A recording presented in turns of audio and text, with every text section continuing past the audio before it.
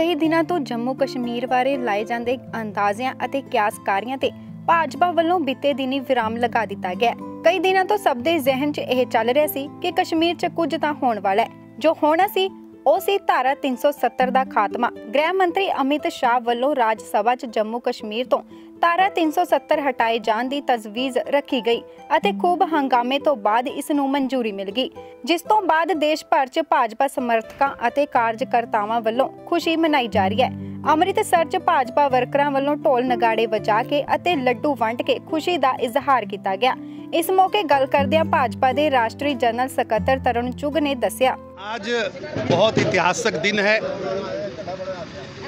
भारत के प्रधानमंत्री श्री नरेंद्र मोदी जी के नेतृत्व में देश के गृह मंत्री अमित शाह जी ने पांच ऐतिहासिक फैसलों का पंच देशद्रोही मानसिकता के मुँह पर मारा है। ये पाँच फैसले, जहाँ भारत के लिए यू टर्न है, राष्ट्रवाद की अभिव्यक्ति है, कश्मीर के लोगों को सात दशक बाद मिली आज़ादी है। ये पाँचों फैसले, जिसके अंदर 370 धारा जो पिछले सात दशकों से भारत को तोड़ने के लिए काम कर रही थी, उसको समाप्त किया है। आज उन्होंने जहाँ 35 ए को समाप्त किया है, जम्मू कश्मीर को यूनियन टेरिटरी घोषित किया है और उसके अलावा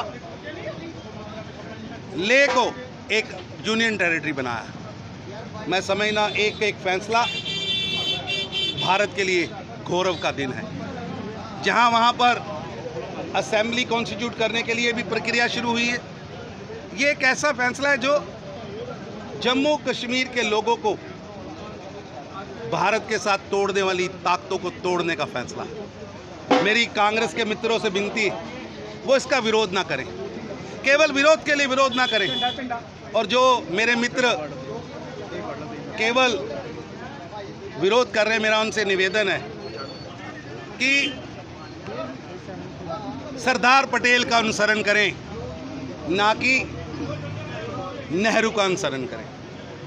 सरदार पटेल ने 500 से ज़्यादा रियासतें भारत में जोड़ी थी। और आज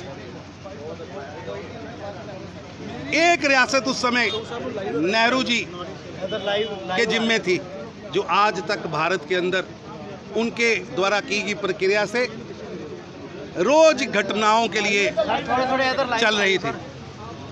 तो मेरी उनसे विनती है कि वो नेहरू का अनुसरण ना करते हुए, पटेल का अनुसरण करें और भारत माता की जय, आज 125 करोड़ लोग कह रहे हैं। उनके साथ वो भी भारत माता की जय के जयकारे लगाएँ और आज यहाँ ये पटाखे चल रहे हैं, खुशियाँ मनाई जा रही लोग भंगड़े डाल रहे हैं।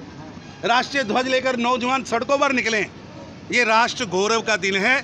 आओ सभी भारतवासी, सभी पार्टियाँ संप्रदाय, धर्मों को छोड़कर इस भारत पर्व को मनाएँ।